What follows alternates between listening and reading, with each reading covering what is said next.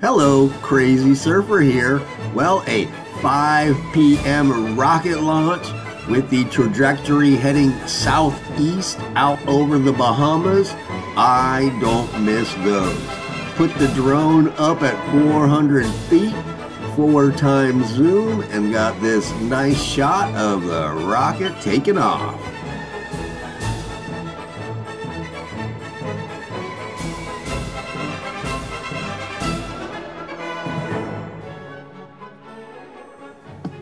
I have seen a lot of rockets and quite a few space shuttles go into space, and it just never gets old. Although I do miss the space shuttles. Those things were a good show.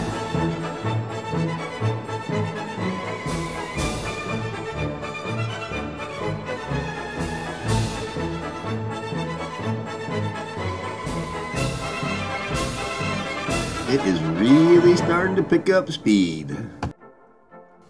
Next, I get a close-up with the video camera of the rocket going up.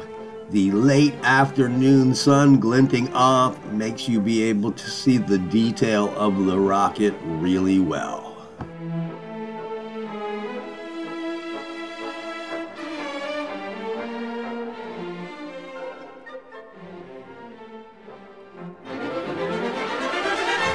And now the big shot of the rocket heading off into space with the Florida shoreline. And of course, we've got some great waves. Living in this part of Florida is pretty special.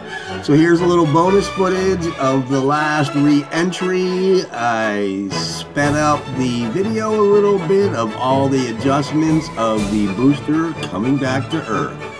Thanks for watching. We'll see you next time.